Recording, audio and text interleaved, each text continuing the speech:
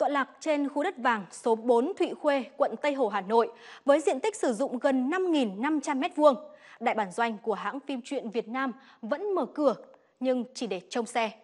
Anh Cả Đỏ, một thời của nền điện ảnh cách mạng, là nơi ra đời của những bộ phim kinh điển, ngôi nhà của nhiều thế hệ nghệ sĩ gạo cội. Giờ đây không ai quét dọn trông nom, các phòng ban chức năng cửa đóng, then cài, không còn bóng dáng ai đến làm việc. Bên trong đó thì là cảnh hoang lạnh đến điêu tàn. Dù ban ngày, nhưng khi bước chân vào nơi đây, nhiều người cũng dùng mình bởi sự lạnh lẽo, hoang vắng. Đây là minh chứng cho sự lãng phí tài sản của nhà nước. Đây là kho lưu trữ hơn 300 bộ phim kinh điển của điện ảnh cách mạng Việt Nam đã nhiều năm không được vận hành, cửa đóng then cài. Hệ thống điều hòa của kho phim đã dừng hoạt động nhiều năm nay, khiến cho toàn bộ các thước phim đầu tiên của nền điện ảnh cách mạng Việt Nam bị hủy hoại. Những cái thước phim ở đấy là nó có nó có linh hồn sống ở trong đấy.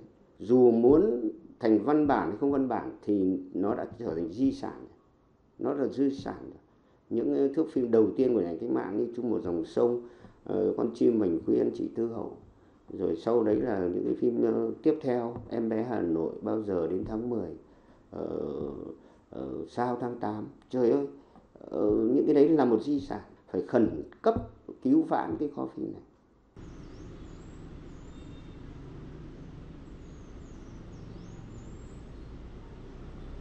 bên trong các phòng làm việc trở thành nơi chứa đồ những đồ hỏng hóc bỏ đi bụi bặm phủ đầy và hãng phim truyện Việt Nam đã như thế này trong vòng 8 năm qua trở thành cái niềm đau xót và tiếc nuối của hầu hết các thế hệ nghệ sĩ đã từng công tác, công hiến cho nền điện ảnh cách mạng Việt Nam.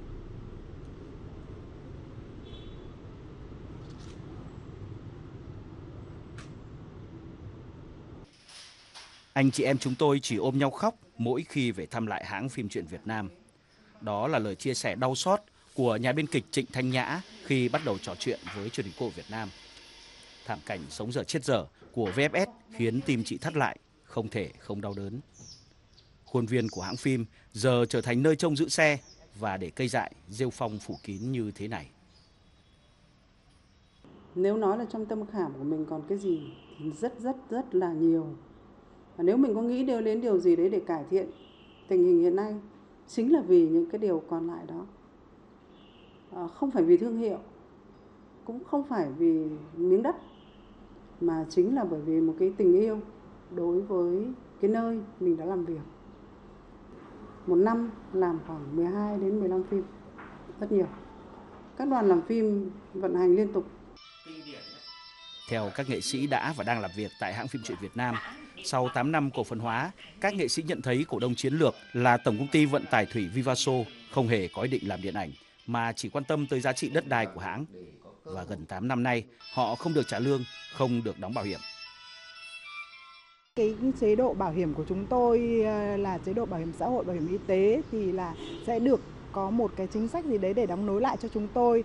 Tiền lương của chúng tôi trong những năm qua đã bị cắt thì cũng phải đền bù cho chúng tôi bởi vì không phải là chúng tôi không làm việc mà là đơn vị chủ quản Vivaso không tạo công an việc làm cho chúng tôi. Từng là một biểu tượng của điện ảnh cách mạng Việt Nam, từng là nơi sáng đèn, không khí làm việc tấp nập 24 trên 24 giờ không có ngày nghỉ. Bây giờ, khu nhà hãng phim truyện Việt Nam chỉ còn là những dãy nhà bỏ hoang xuống cấp trầm trọng. Nói như cách ví von của nghệ sĩ ưu tú Vũ Đức Tùng công tác tại phòng quay phim hãng phim truyện Việt Nam thì họ, những nghệ sĩ, những người làm phim của VFS đang cảm thấy mỗi chiếc lá rơi xuống sân khuôn viên của hãng phim truyện Việt Nam giống như sinh mệnh và tâm hồn của họ đang chết dần đi.